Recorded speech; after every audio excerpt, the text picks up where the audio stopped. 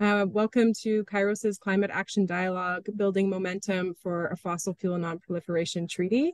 My name is Beth Lorimer, and I'm the Ecological Justice Program Coordinator at Kairos Canada, and I will be the moderator of tonight's event.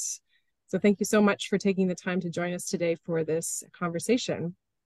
Before we begin, I would like to acknowledge that we are gathering today on the traditional territories of Indigenous people across Turtle Island. We pay respect to the traditional guardians of the land upon we, which we live, work, and play. I acknowledge that I am joining you today from un, the traditional unceded, unsurrendered territory of the Algonquin Anishinaabe peoples here um, on the banks of the Kichissibee, um, also known as the Great River or the Ottawa River in, uh, in Ottawa. We acknowledge that Indigenous peoples are the traditional guardians of Turtle Island on the land also known as Canada. We recognize their long-standing and ongoing relationship with this territory, which includes unceded and traditional land, and acknowledge our duty to walk with and alongside reconciliation and decolonization efforts. Reconciliation is an ongoing process requiring unlearning colonial practices and history alongside relearning our shared past, present, and future. At this time, I invite you to take a moment to place your feet on the ground as you are able and take a moment to acknowledge the territory where you are joining us from today.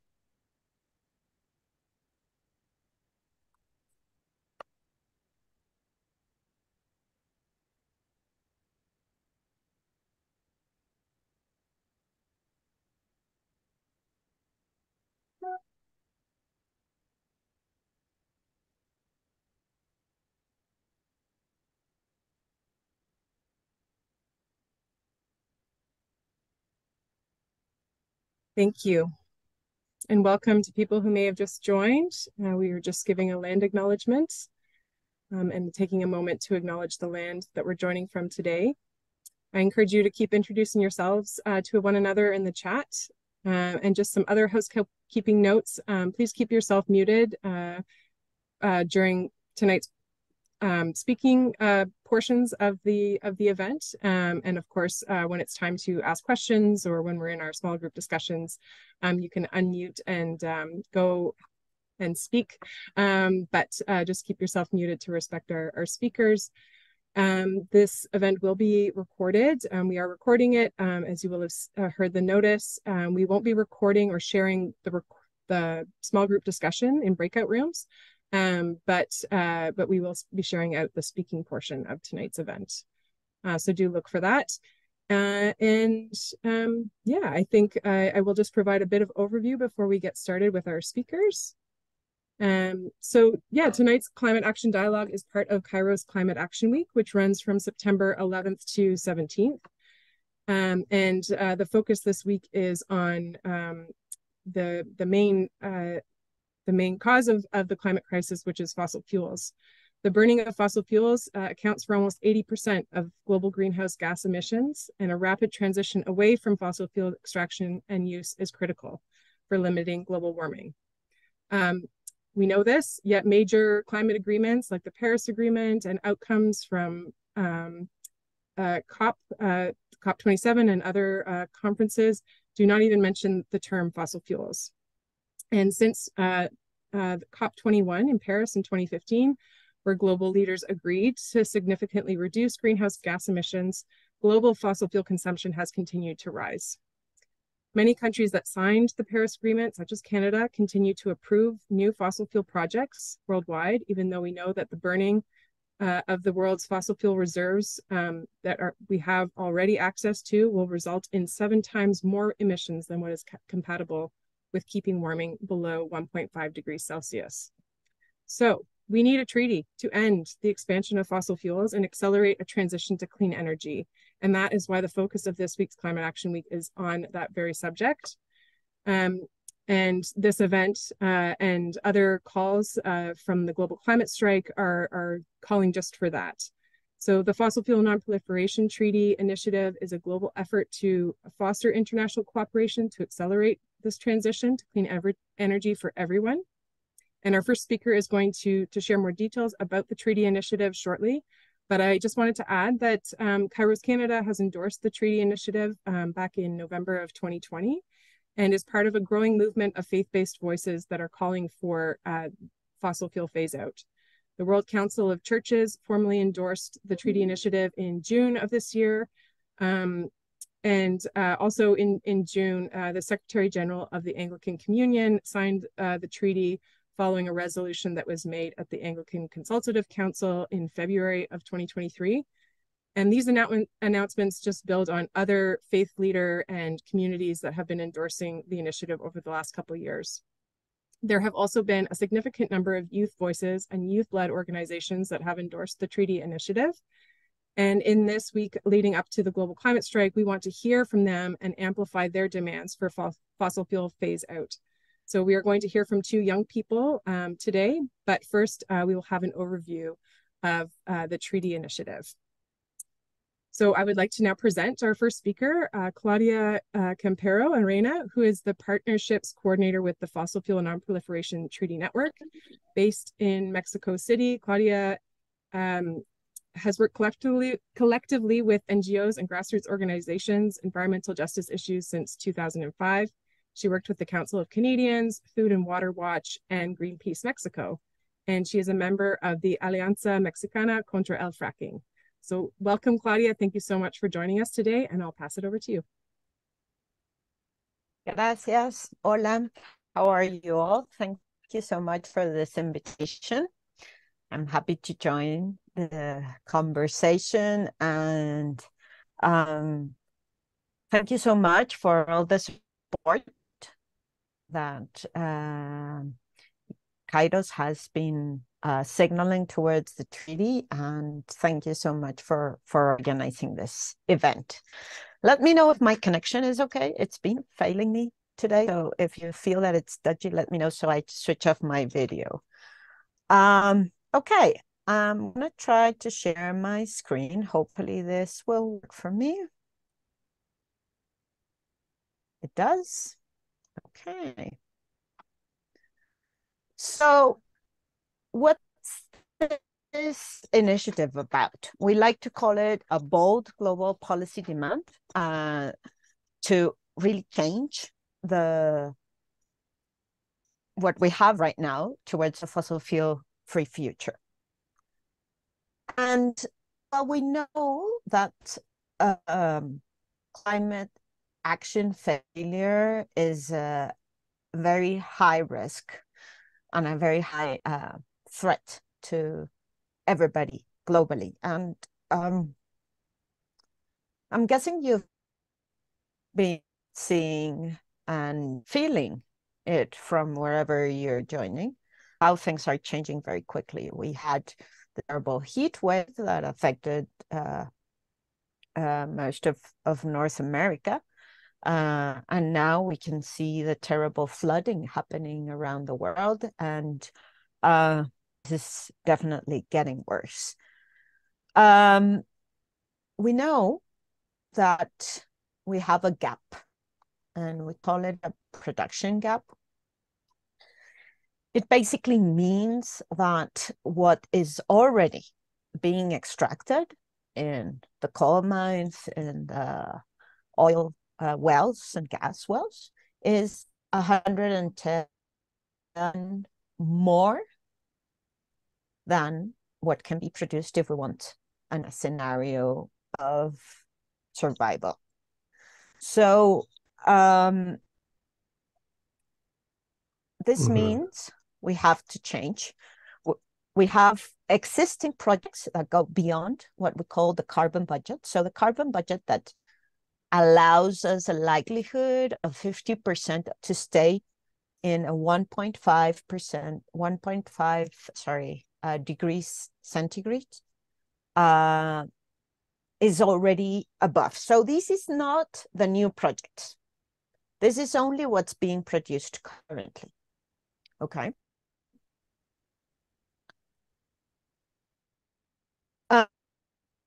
Um, and we also know that even when we share that there are more renewables happening, fossil fuels are are still being used. That hasn't changed. There has been some increase in renewables, but fossil fuels are still being extracted, still being burned. And they represent uh, the majority of the energy that we use around the world. So what's what are we facing right now? If we don't have an agreement on fossil fuel production, we're risking and we're making harder the transition. Transition is something that we must have. It's inevitable. But if we keep extracting fossil fuels, uh, it will only make it harder. It creates what we call stranded assets and financial uh, turmoil. What does that mean? It means that uh, there will be infrastructure being built that we cannot use because uh, we're uh, really uh, increasing the temperature so much that there's a, a, point where we have to stop. But the investment on this uh, uh, infrastructure would have prevented other kinds of investment, for instance, in renewable energy or in schools or in hospitals, right? So we're using money in a wrong way. Uh, if we don't have this agreement, we risk workers, we risk communities, uh, it delays renewable energy expansion, expansion. It delays economic diversification, right? The fact that many countries depend on the extraction of fossil fuels for their economy. Uh, it consolidates the powerful pro-fossil fuel political constituencies. I think in North America, we know how much they can actually get away with these powerful interests of, of, of um, fossil fuel industry. Uh, it increases the risk of technical, economical, legal, and political lock-in, where it's much more difficult to have change. It increases the risks of dangerous geoengineering, these non-proved ideas of how we can manipulate the climate, which are nonsense. Uh, and it risks, of course, warming well beyond 1.5 uh, centigrades. Uh, we know that, for instance, International Energy Agency tells us that Antonio Guterres, who is the Secretary General of the United Nations, uh, has said investing in new fossil fuels infrastructure is moral and economic madness. This is very clearly stating that this is completely unreasonable, right? So the Paris Agreement doesn't even mention fossil fuels. Uh, the Paris Agreement uh, uh, has all this conversation on reducing emissions. And it's a way that we delay the hard conversation that we need to wean ourselves out of fossil fuels, okay?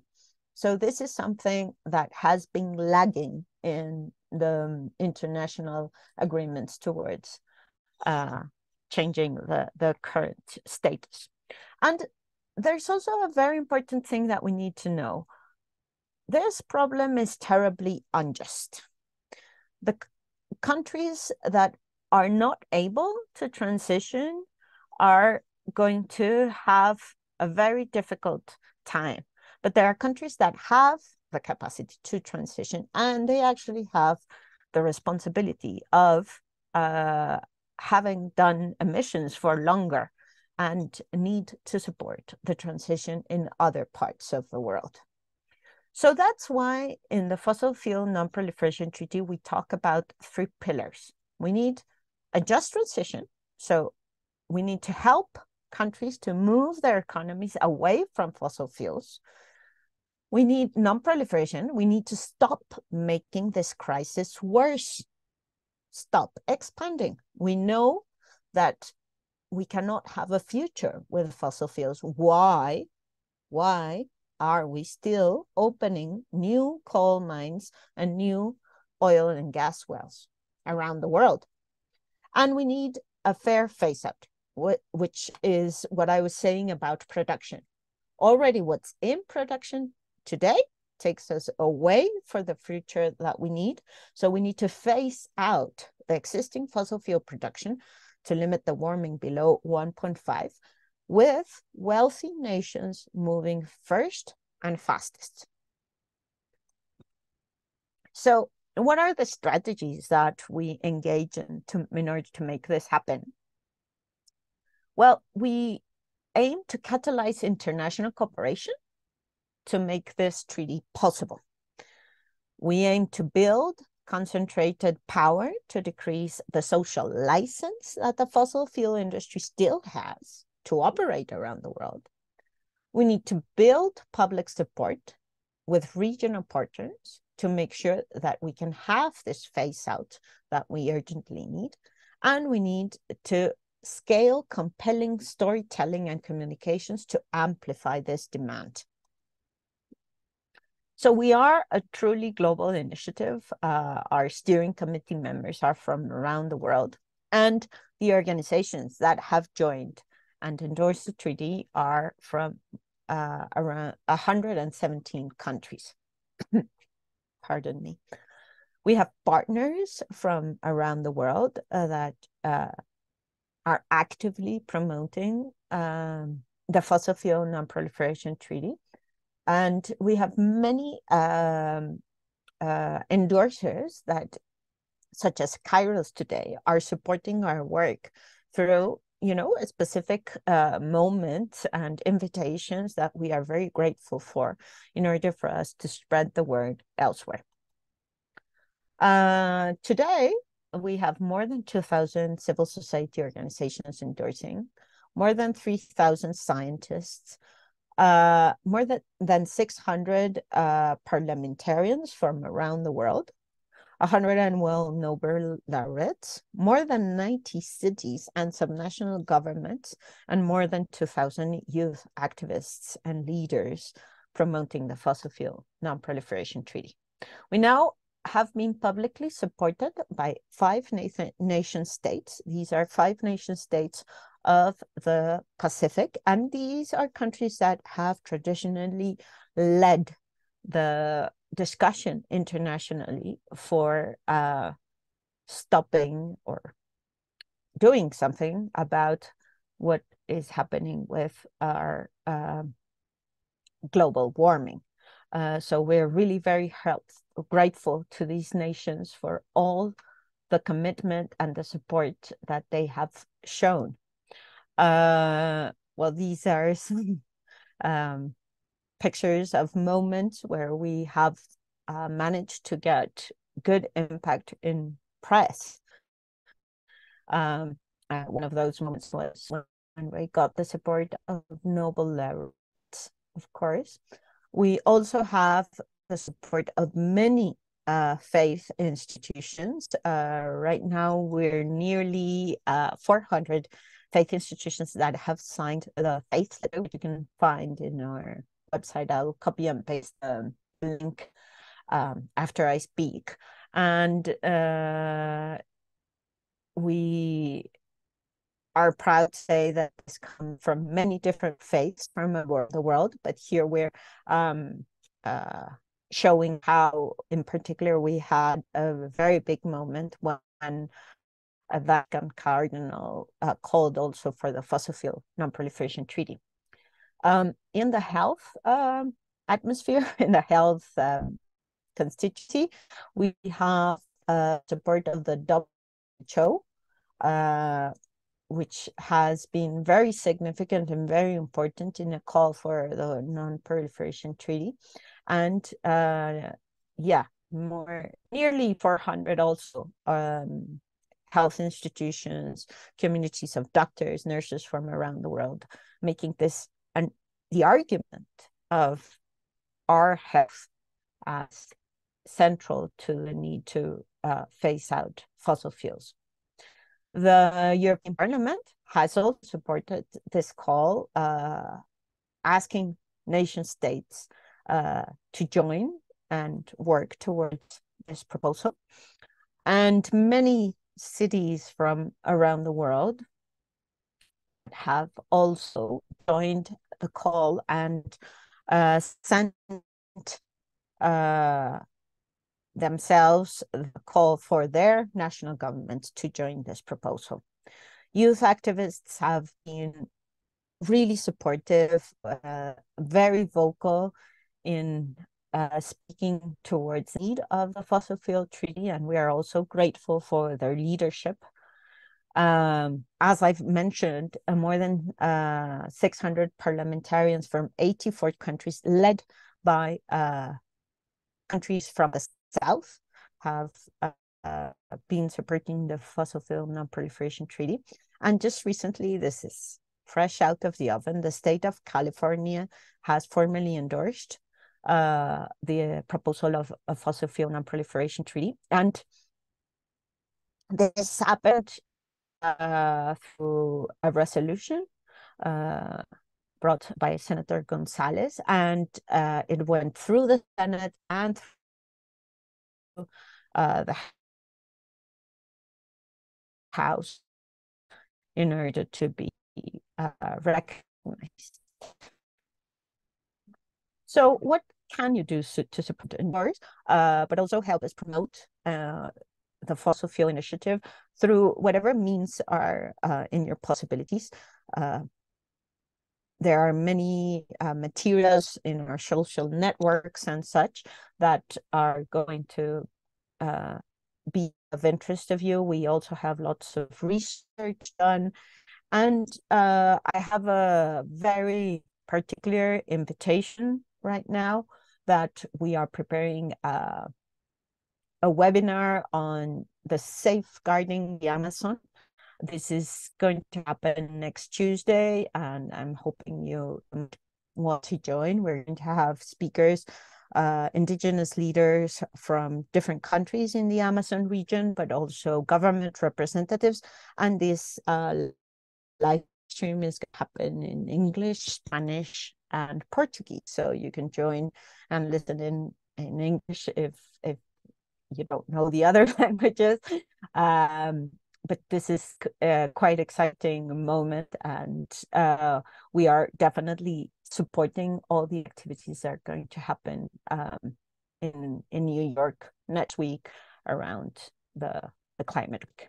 And thank you so much. Thank you so much, Claudia, um, for that really informative overview of the treaty initiative. Um, and uh, we will be sharing some of those links uh, that Claudia mentioned. Um, if she shares them now, that's fine, but I, I have a list of a few that I'll share at the end of, of tonight's gathering. Um, so I'll, I'll just open it up uh, for questions from, from Claudia before we continue, if there's anything that you want to ask of, of her.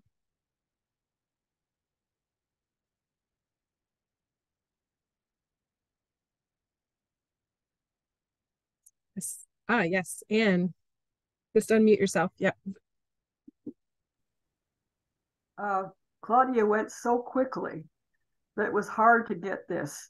I mean, there was a lot of material, and I think it could have taken twice as long for us to get it all and make notes and take it all in. Would it would it help, Claudia? Are you able to share the the slide deck that you that you just showed us, or or that would help? I'll I'll set it that way and I can share for sure. Great. Okay, then we will make sure that that gets circulated to all the the folks that registered. Um, yeah, there but, is a but lot if of, there's there something that requires more detail, I'm happy to try to address.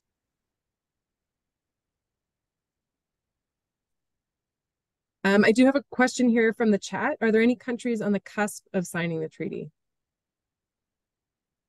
That you're aware of? In addition to this, to the, the five or six, the block from the Pacific. My my vocabulary fails me. A cusp is like nearly. That's fair. So um, almost almost ready to sign on. Are there any countries? Um, yeah, as as you may know, this is um not an easy task for governments from around the world. They have to commit to these three pillars in uh, making sure we have the just transition, stopping expansion, and stop, uh, you know, having the plan for the phase out. So these are three things that are not easy tasks. So the fossil fuel treaty does is not drafted yet. The governments need to draft it. And we're working actively with some uh, committed governments to join the leadership that these specific countries already have in uh, calling for the commitment to draft the treaty and then um, bring other countries on board. So um, I can share that we are, for instance, working and have had a very good response with the Colombia government. Uh, we currently have a government in Colombia that has already committed to stop expansion and is actively talking about what the just transition looks like. So um, that's already in their discourse, and they recently joined BOGA, which is also an initiative uh, towards stopping the the the production of fossil fuels. So this is um, something that is still in the works. Um, we are hoping that other countries in other places of the world might join, but um, this is of course something that takes time that requires a lot of negotiation within the country and um, i cannot say um, that all things are ready for that to happen in other places of the world but we definitely have many other leads that we're working on great thanks claudia um, i have another question um, about concern. What are some of the current geoengineering proposals that may be of concern? And Carla, I don't know if you're able to come on and just uh, maybe provide a bit more context about your question.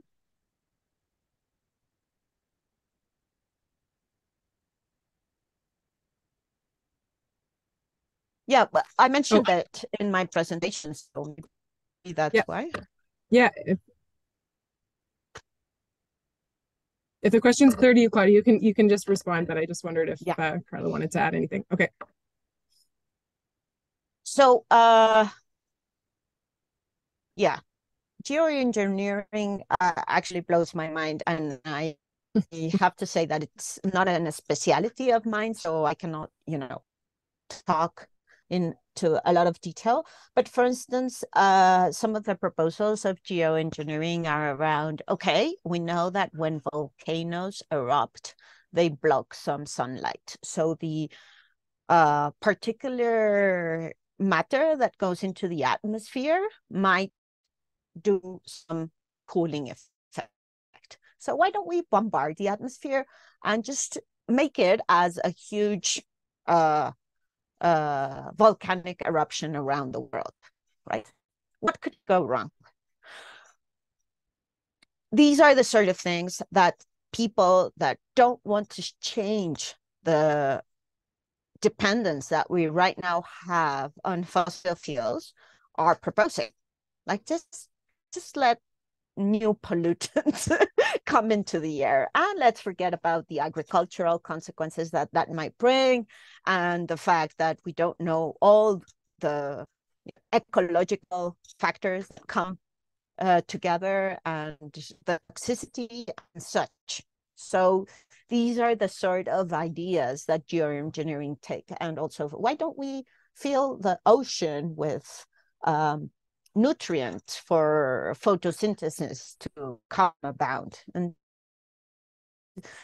so these are the sort of things that uh, geoengineering does. And the other big thing that happens is the idea of carbon capture and storage, which is very, very limited, the experimentation that has happened, and it's not clear that it could be scaled up and whether that is truly one solution. It's really very expensive and it basically just shows the unwillingness to change in something that we already know that doesn't only harm the climate, but also harms all the people that are around the cycle, the extraction, the processing, the burning.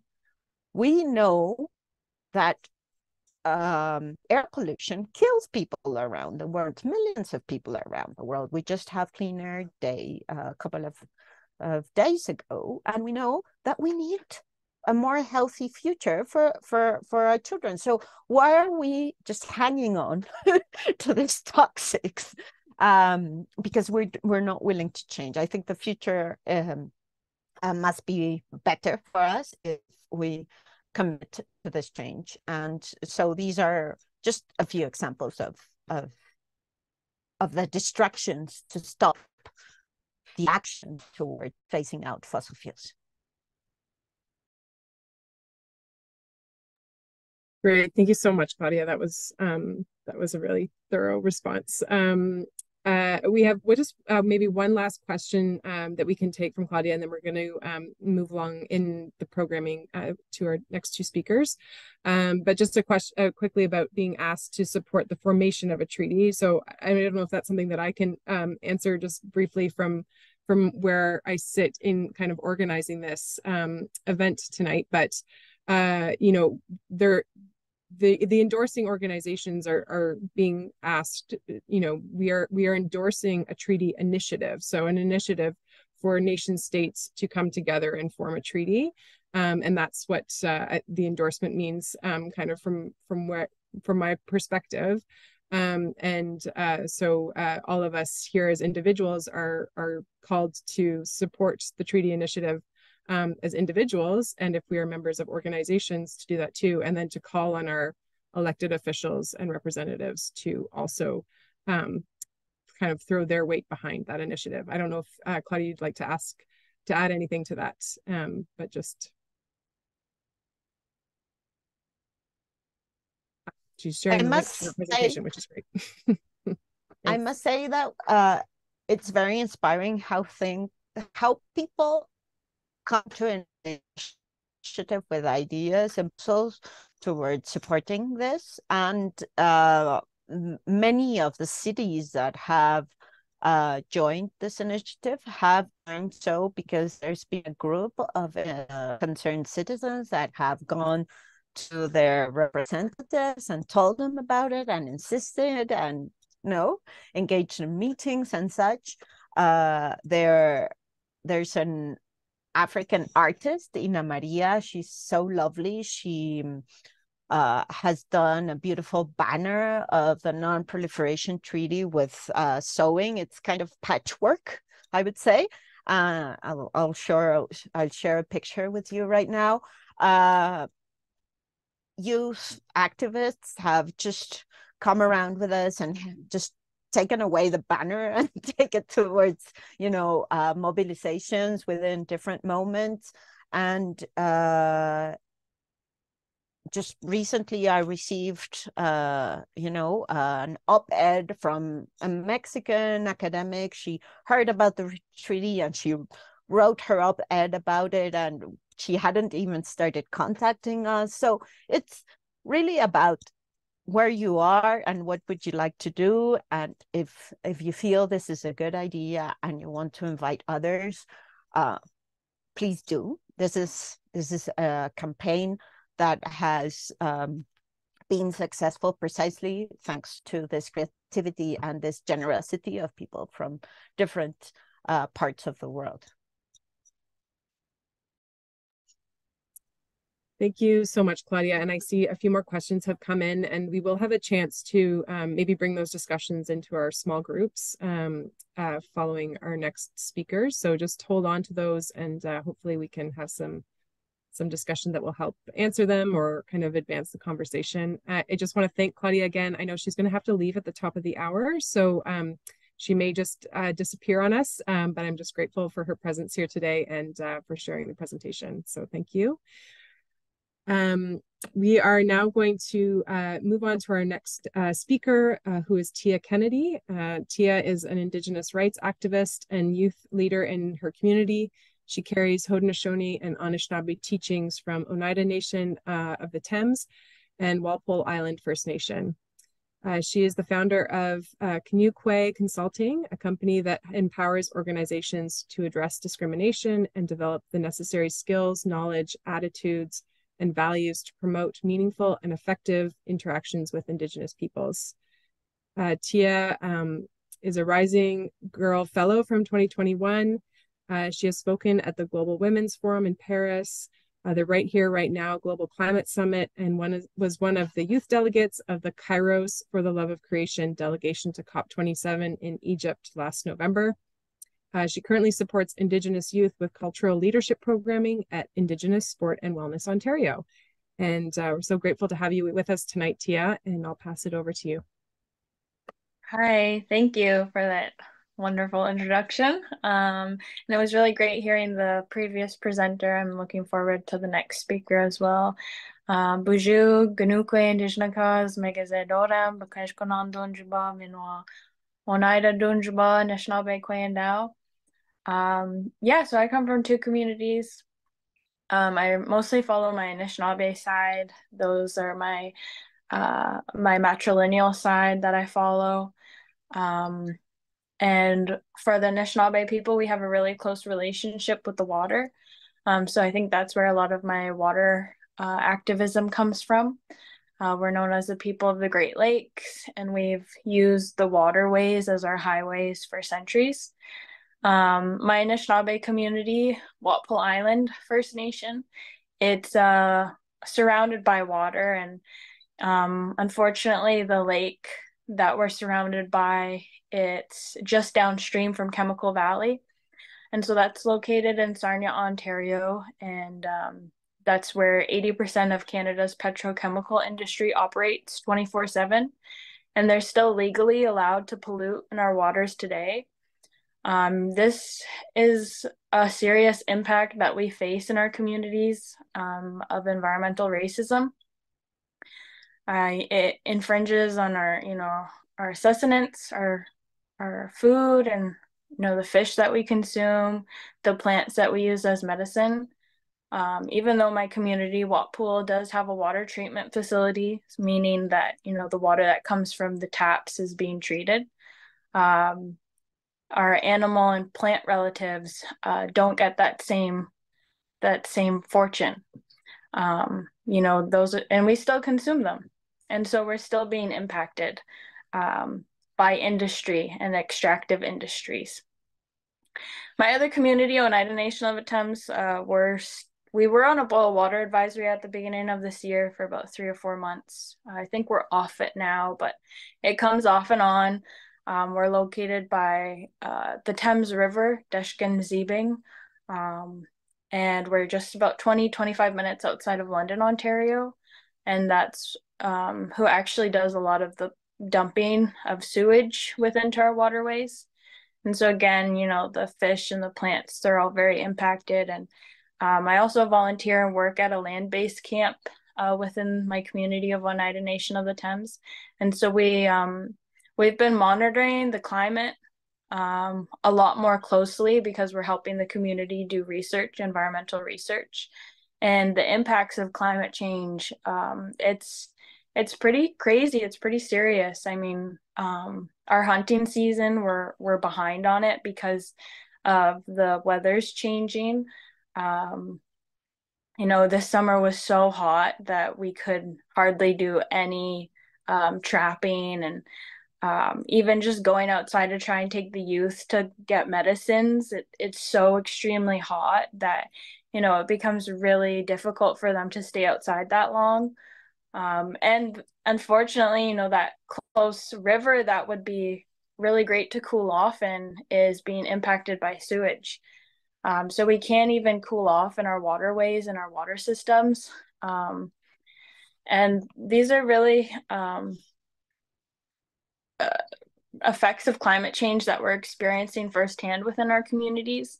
As um, indigenous first nations communities um, you know we're seeing it in front of our eyes.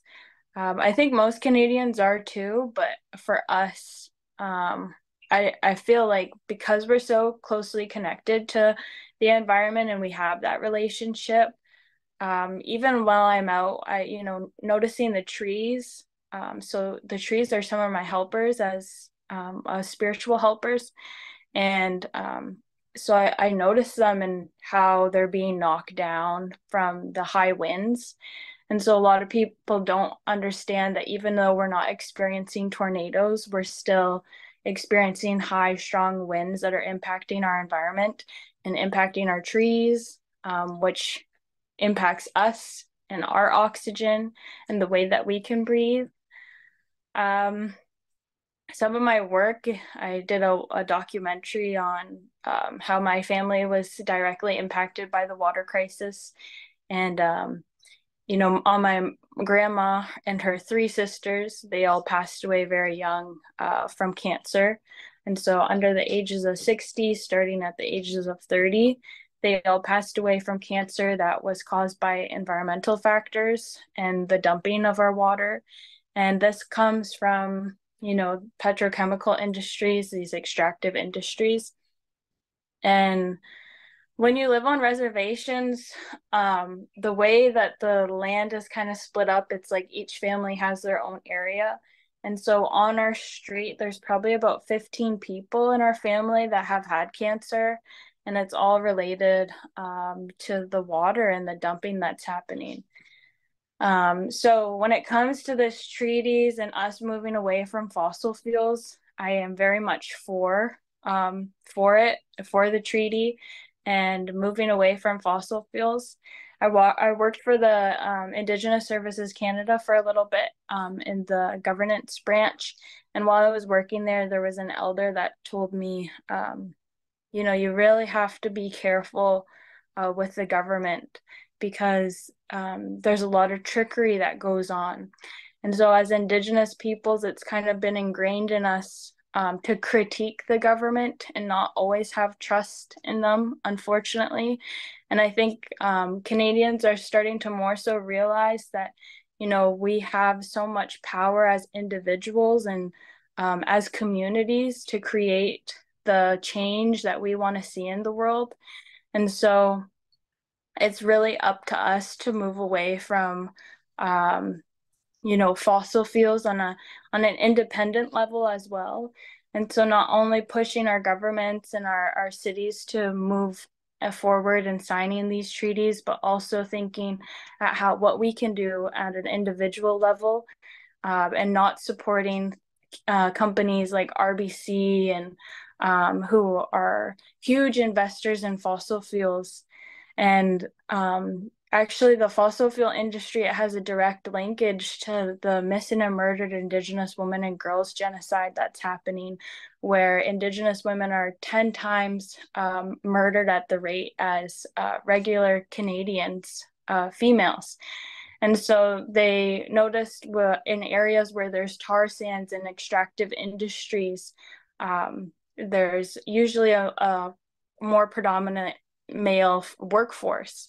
And that's um, causing these man camps that are bringing in women indigenous women and they're being assaulted um, and oftentimes that that linkage is happening at these man camps um, with our, our missing and murdered indigenous women. And so there's a lot of reasons why we need to phase out fossil fuels uh, but i think when I think about my ancestors and how they signed those treaties uh, with the Canadian government, there was a lot to consider. And if there's one thing that I can hope that go happens when we we do sign this treaty, um, it's thinking about accountability and how can you know if this treaty is broken, how can we ensure accountability going forward? Because as Indigenous peoples, you know we we're experiencing broken treaties and what we originally signed for and what we had thought um, was a lot different than what's happening right now. And so uh, for us, the land wasn't something that we could sell because the land is part of who we are. You know, in our creation stories, um, as our Anishinaabe creation story, we call our higher power uh, creator, Gajem Nado. And when he lowered us down as human beings, he told us that we had this role and this responsibility to be caretakers and maintain that balance here on Mother Earth. And when he lowered our bodies to the ground, our limbs they fell across Turtle Island. And so that story it tells us that we're a part of Mother Earth and that our ancestors are part of her. You know, we call our, our the rocks our grandfathers and um, those plants our grandmothers and that's that's just a representation of how we need to look at nature and how we need to be in relation to her.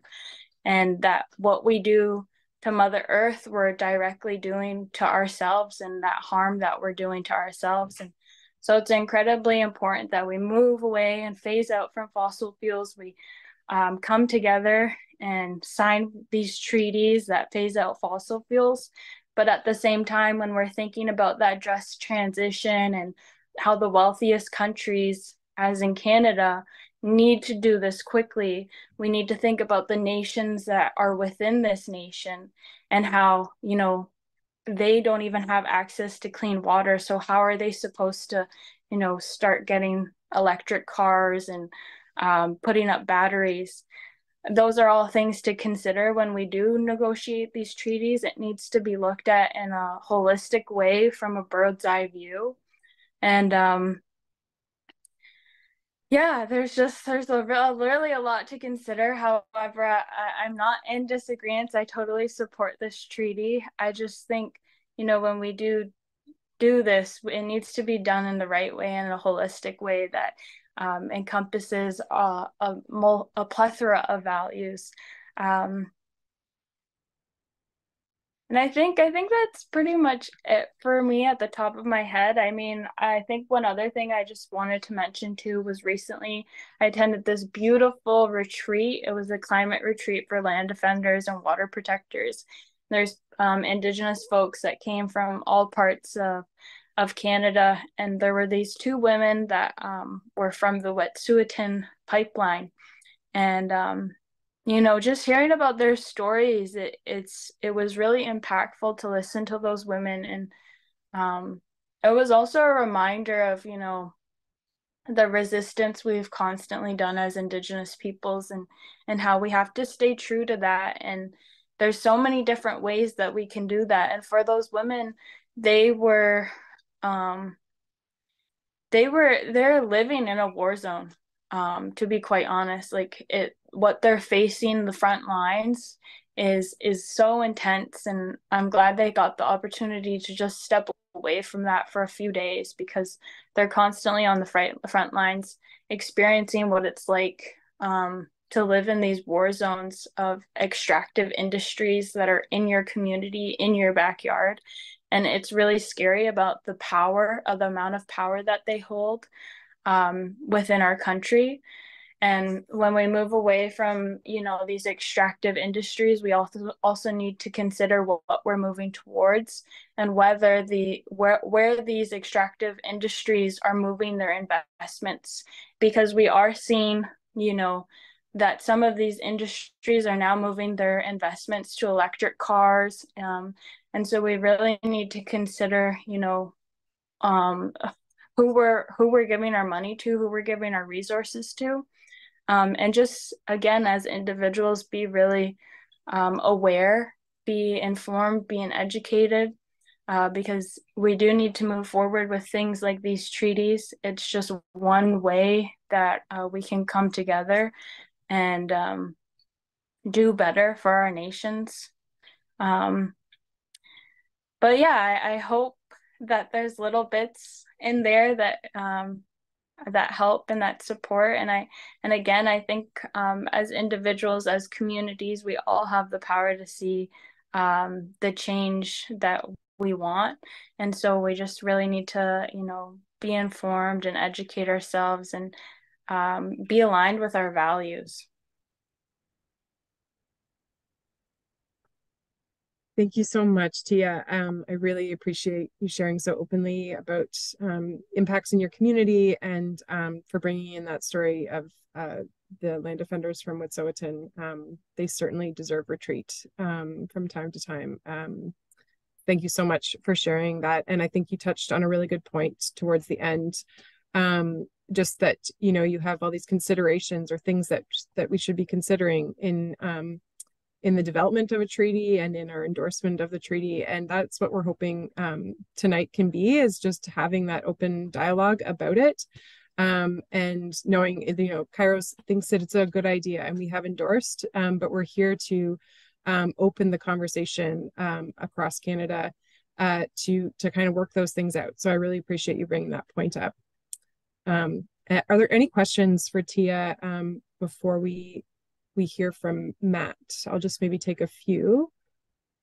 Uh, Carla actually, she uh, has a great question. In what ways, and maybe Tia, you want to just answer this, but I have a feeling your question, Carla, would be really great within the discussions to the small group discussion. But in what ways could we hold governments and industries accountable?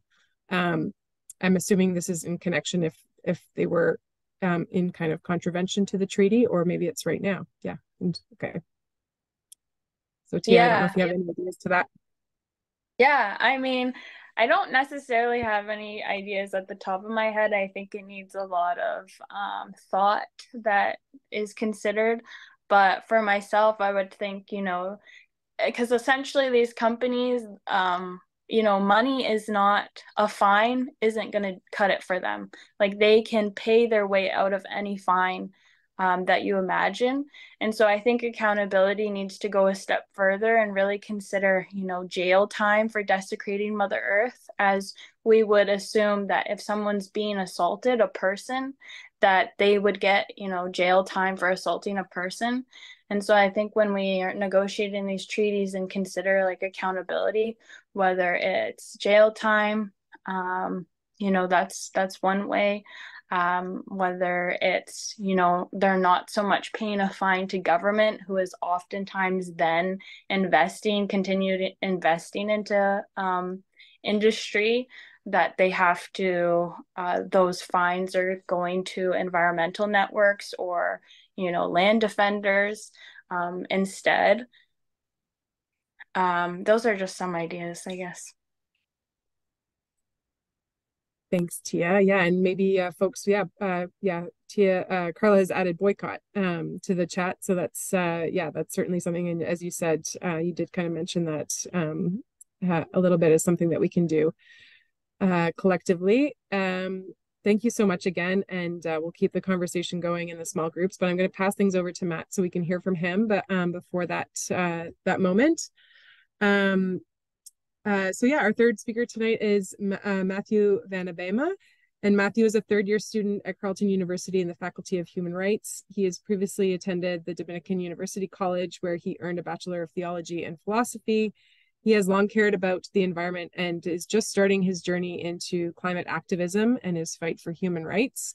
Uh, Matthew is a member of Fridays for Future Ottawa and a part of the organizing team, uh, making preparations for the global climate strike on Friday. And he just uh, informed me that he's also emceeing at the strike. So um, if you're in in Ottawa and planning um, to be there, you will see him in person.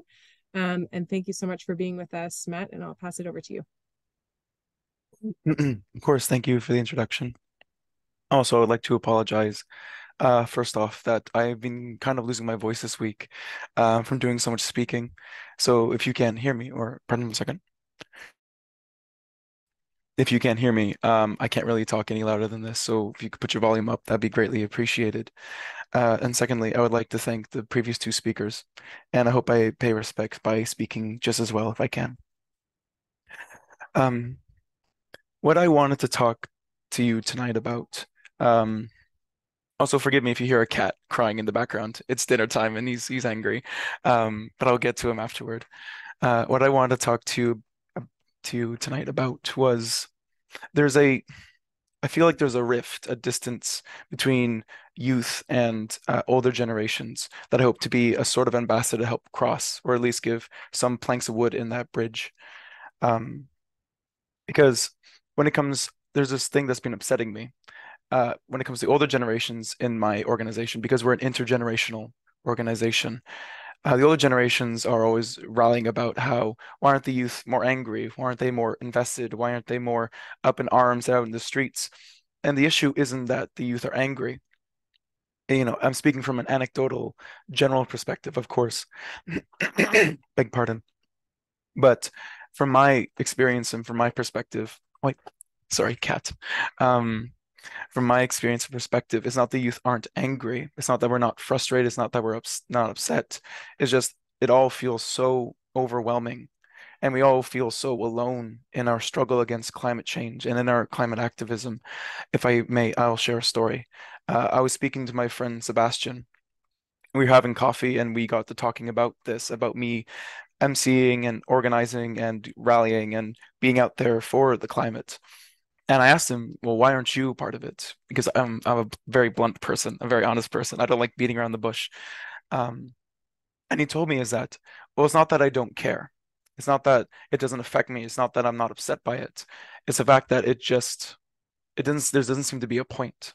There doesn't seem to be any point in trying, in going and doing. So if the people uh, before me, you know, the older generations didn't do anything about it, and the people around me, you know, my generation aren't doing anything about it, why should I? And his perspective was, yes, everything is going, you know, forgive the language, everything's going to hell in a handbasket. But um, um, if anyone, no one's doing anything, I'll just do what everyone else is doing, which is enjoying my life. So he golfs and he goes to the movies and he just tries to distract himself as best he can from this climate fear, from this climate terror and anxiety. And that's another thing I want to talk about tonight, were these two things. You know, in my generation, it seems to be climate change seems to be destroying my generation, not only, you know, physically, you know, pollutants and toxins and cancer rates and all that sort of nonsense and absurdity that shouldn't be. Um, also mentally, spiritually, psychologically, is we are so devastated and dismayed and diminished, and just feels like climate change is devouring every part of who we are. That we we don't know what to do, we don't know where to go, and though we care, it's not. It's it's the frustration is paralyzing, the fear is paralyzing, the terror is paralyzing. And it's not that I, I understand that older generations also care. It's not that at all. I'm just, as a youth, I'm just trying to speak for the youth. That's all I'm trying to do. I'm not judging anyone. But the two things I want to talk about tonight were hope and care, because we don't see a lot of, uh, you know, the idea of care in the climate change movement. Again, uh, for my the older generations I interact I interacted with, not anyone else here personally, but they talk about anger and frustration and rallying, and that's not who I am, and that's not a lot of uh, how a lot of you see it. We want to care not only about the environment but each other. We want to care not only about affecting change, but belonging to a community, belonging to a group of people, belonging to each other when it comes to fossil fuels, there is a great point in the Proliferation Treaty about a just transition, and a just transition does not, you know, mean a move away only from fossil fuels, but also a just transition for the workers, for their families, for their livelihoods, into renewable and into the renewable energy sector, into a less polluted Earth, because humanity should shouldn't be at the fringes of the climate movement. It should be Earth and humanity because we are as much a part of this planet as as this you know biosphere as everything else is. And just because we're the ones that's messing everything up does not mean we are excluded from enjoying the benefit of a greener, safer Earth. We should all enjoy that. Um, and to speak of hope, after speaking about so much dismay, I know is a bit uh, paradoxical and ironic. Um, but if I may, you know, indulge a little bit in my old philosophy background, uh, Thomas Aquinas uh, who was a if you ever read Thomas Aquinas, I don't recommend, by the way, please don't ever read Thomas Aquinas. I'm sorry if there are Catholics here. I've read him thoroughly and I never enjoyed him, but uh, it was a recommendation. It was a requirement. Sorry. He was, by all accounts, a very, you know, reserved, conservative, you know, personality wise, not politics wise, um, almost sour, cynical, dour man. And even he, when he talked about hope, even this this cynical man um, when he talked about hope, he has this gem in his writings that hope not only is is you know dignity personified, but is also dignifying. That when we hope, we all not only dignify ourselves, but when we hope, we dignify each other. And that idea of relation again is so important to the climate movement. It's important to not to realize that we're not alone, to realize that we all do care and we all want to hope, but we haven't made those threads, we haven't made those connections, we haven't built those communities and we ha- when we see each other, you know, young, old, and we separate ourselves, and we don't have a distance to cross. So, m- my speaking here tonight, I want to propose a question to you. I'm sure if you have questions for me, I will take them. But I want to propose a question to you: Is how are you connecting to other people with your climate fears and climate terrors? Because it's not just about anger. It's not just about frustration. It's not just about, you know, hate against the, the, fossil fuel companies, which is a valid feeling. I'm not trying to diminish or dismay anyone. You know, hate and anger and frustration, those are all very valid feelings. I just also wanted to promote, without diminishing the other feelings, promote the ideas of hope and care because we don't see that a lot in the climate activist movement. And also promote the idea that we need to care about each other as much as we care about the world. And we need to hope together as much as we also have personal hopes. And we also need to start seeing each other less as those per, those people over there, that thing over there, because this is all interconnected. You know, pollution doesn't care if it was it was produced on the other side of the globe or here. And it affects us all so deeply and so intimately that in order to fix everything we need to start creating connection and creating relation and coming together. And we can only do that with yes in our shared anger yes in our shared sadness yes in our shared terror. But i believe you can also add to the roster hope and care because those are such deeply human feelings and sentiments and emotions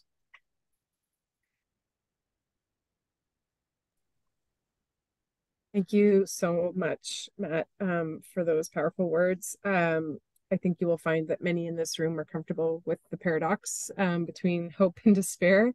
Um, so I think you're in good company in that way. And um, thank you for your your question to the group at the end. Um, I don't know if anyone wants to to share anything or ask a question of Matt. Um, we'll just give a moment to the room to see if there's questions. just uh, as I have Matt Pin, just uh, signal that you'd like to speak or um, yeah, use the raise hand function.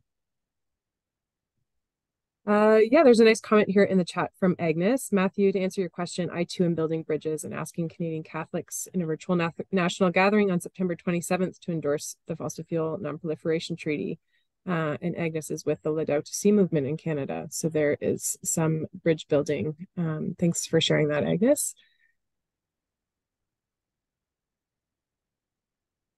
Okay, if there if there is no immediate questions of Matt, and again, uh, Matt and Tia are here um, for the rest of the the program until eight thirty. Um, uh, Claudia is just about to to head out, so thank you so much, Claudia, again for your presence. Um, but we wanted to go into. Oh, uh, Cheryl has a question. Go ahead, Cheryl. Yes, hi, and and uh, can you hear me? Okay. Yes. Okay. Thank you, Matthew, for um, for your feedback on that. I mean, I know myself, and I know so many here on the call as well, have been working on the climate crisis for many years, decades even. I know almost 10 years ago, I was in New York City where 400,000 people took to the streets, and that was in the city alone. And millions of people worldwide took place, took part as well. There are so many organizations that have been growing and building. You know, uh, there's Kairos, there's 350.org, there's the Citizens Climate Lobby. There's so many organizations that are out there working with volunteers. And I'm just wondering, you know, how can we capture the people? People are becoming very concerned right now, right? They're waking up, which is great, but they feel very alone. How do you reach out and connect to these people and let them know that you're not alone actually. There are so many organizations out there that are doing stuff even even if it's whatever speaks to you. So i'm just wondering because there seems to be this sense of you know we're all in our little silos and that's actually not true. There's just been so much work that has been done for so many years. Um, and i'm just wondering how do we connect people who are finding themselves in in in great fear around this issue, feel paralyzed, um, uh, and how do we engage with those people so that because we always believe, I mean, we've been saying this for decades that action is the antidote to despair. So I'm just wondering how can we connect people uh, and let them know there's just so much out there that they can that that, that this has been going on for years. Uh, thank you for your question. Um, I also hope I didn't offend anyone. I didn't mean to say that nothing's been done. I hope that's never that didn't come across that way. Um, speaking of fear, I think that is how you connect to someone is through the fear. We have this tendency in this in our society to not speak of fear, to make it hush, to make it go away. But it's such a powerful emotion, such an again intimate, intimate emotion. Why should we not connect with it? Why shouldn't we say, I'm afraid, just like you are afraid, or at least I'm afraid for different reasons, and you're afraid for these reasons? Why shouldn't we connect with you know connect by that way? There's also the idea where we shouldn't connect in each other's sadness, which is wrong.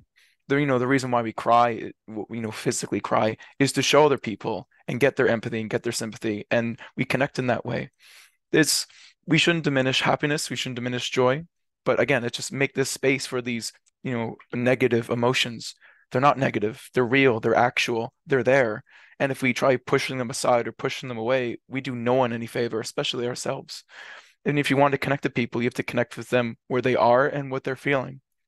And if that's sadness and if that's anger and if that's frustration and if that's you know even hate for something connect to them on some level. Don't be hateful. I don't think you should be hateful. You know that's a whole different conversation. But if you are sad if you are afraid if you feel terror if you feel anxiety or guilt connect on those feelings share those feelings build communities on those bonds.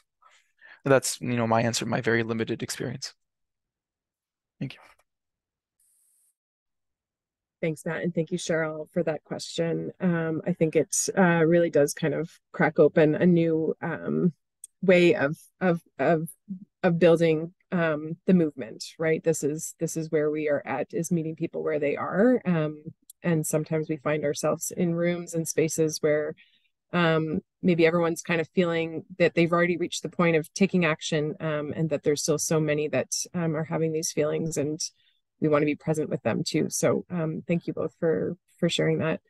Um, uh, we're gonna we're gonna go into uh, to small groups now, um, just for maybe about ten minutes, um, uh, and and have um, just some conversation. Um, feel free to raise your own questions. I know some have already been raised in the chat, um, but uh, I will pop a few into the chat um, here as well for you to take note.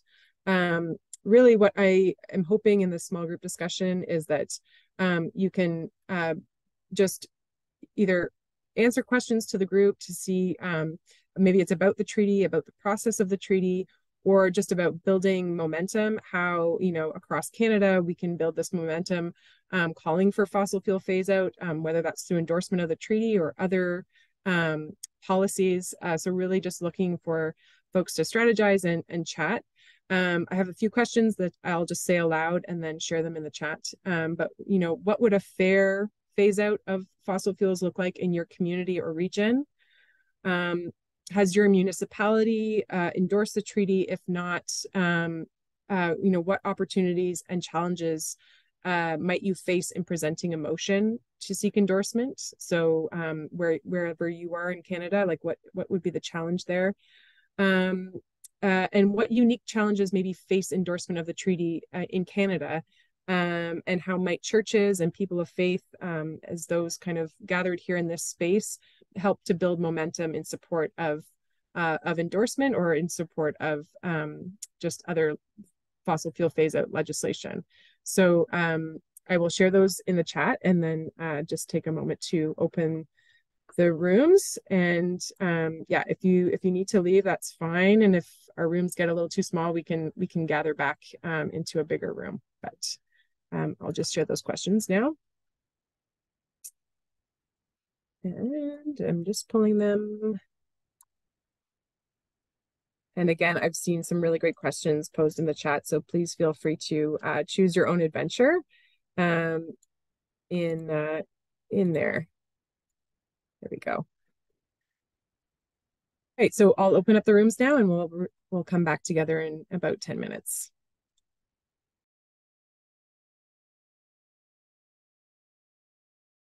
Welcome back, everyone. Uh, thank you so much for sticking with us and for for um, for joining others in in conversation uh, in those groups. Um, Carla just shared a little bit about what she was chatting about in her group. I wonder if anyone else wanted to uh, share insights about uh, about their conversations.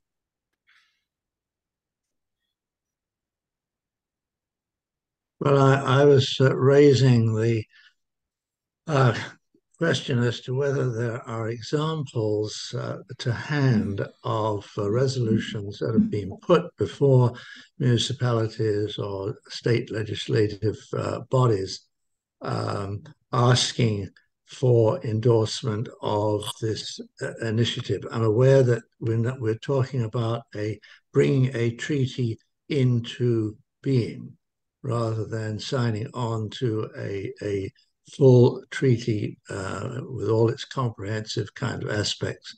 So I'm just wondering whether there are ex examples of those kinds of resolutions. I, I very much like to see it. I, I, think it's a different matter asking people to sign on to the development of a treaty rather than asking them to sign on to a treaty itself. That's right. Yeah. Thank you, Mervin. Uh, great. Uh, it is a, an important distinction um, in this effort. And uh, I will be sharing some resources um, from the treaty initiative uh, um, to that to that end. Um, uh, so they they have a, a whole kind of guide uh, for meeting with your representative. Um, but I can also share out um, maybe some specific motions, example motions. I know I do have one from um, the Anglican Consultative Council, um, but uh, maybe you can share out some others. Um, so thank you for that. Um, any other other questions or points to the group? Great. My hand up. So oh, sorry, Alan, I couldn't I couldn't see it. I think it was it was camouflaged in your background. My... So I better say something if I had my hand Go up. ahead, Alan. Uh, yeah, in our small group, of course, we didn't have enough time, and that's always the way it goes, I guess. But uh, I guess uh, one of my concerns is that uh, uh, we should recognize that uh, the whole effort about uh, energy and how it's produced is really revolves around money, and if money is to be made out of oil and and and such sources, of course people are going to pursue it, and companies are going to pursue it. So I I think that we should try to emphasize more strongly that uh, governments give incentive to uh, green energy projects so that they very quickly become more economical than the fossil fuel energies. And then people would switch over because uh, uh, simply the human greed for profit and uh, and making money is always going to rule generally in society. And I, I guess I've been very concerned about what's been happening in Alberta uh, that uh, the government has called for a set, was it a seven month halt on encouragement for green energy? I thought that was just plain ridiculous because apparently there's some, been some very successful green energy projects. And I have a feeling the government is really trying to uh, save the oil and gas industry a little bit because Absolutely. green energy is growing too fast. Of yeah, course. I think we should uh, hound our politicians about that sort of thing and encourage the development very quickly of green energy. And it's certainly possible.